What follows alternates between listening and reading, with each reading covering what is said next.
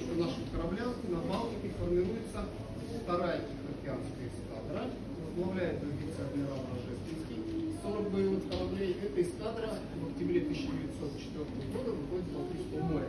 Осуществляет переход вокруг Европы, вокруг Африки. Через 4 месяца достигает. Вечные уровни погрузки, какие-то колонны, ждут. Находясь фактически здесь, моряки получают известие о том, что корабли Николай II принимает решение нашим кораблям следовать Корабли продолжают движение Мадагаскар. И 14 мая 2004 года заходит в Корейский пролив. Пролив расположен географически между Кореей, Корея это единое тогда государство, и Японией. В Корейском проливе расположены японские острова Цусиму. 14-15 мая в течение двух суток состоялся бой между нашим эскадрой и японским флотом, который исторически принял название Сусимское сражение, ну, или просто Сусима, да?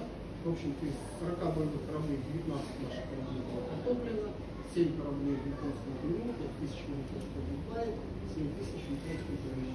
Адмирал тяжело ранен, японском плену. Ну, если мы говорим там языком, например, военно-морской академии, это полный разгром наших Лаврова участвует в этом сражении, остается на плаву, 20 затоплено, 16 погибших, 88 раненых. После боя уходит вот сюда, на Филиппинские острова, в порт Манила.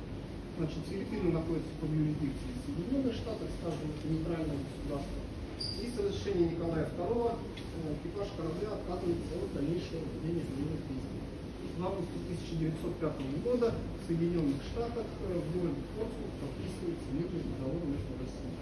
Называется тоже Портсмут, мирный договор. Да, больше ничего там никогда не подписывали. В принципе, после этих событий Аврора возвращается на Балтику и продолжается. Ну, может быть, если двух предложениях, а, в 1905 году была русско-японская Генеральным сражением этой войны явилось Сусимское сражение, которое? Потому что, ну, если брать все предыстории, да, когда начинают интересоваться, что-то читать, можно просто сказать. Эти ребята, они тут 300 лет друг за другом бегали, да, потом были опиумные войны, которые вела Британия, да, закачивала сюда, в Китай, там, наркотики и тому подобное. Ну, в принципе, все пошло из-за чего. Китай территория всегда закрыта, да, какие-то разрешено нескольким фирмам там именно э, торговать. Э, в общем-то, Англию это не устраивает, да, потому что так как они не пускают там, на рынок какого-то да? Грубо говоря, начинаются вот эти опиумные войны. Ну, грубо говоря, что? Значит, вот отсюда возят опиум, мак сухой, наркотрафиком в Китай. И просто скрыли. Да? Сказали, не пустите к себе, значит, все. Вот почему, грубо говоря, эти вот опиумные войны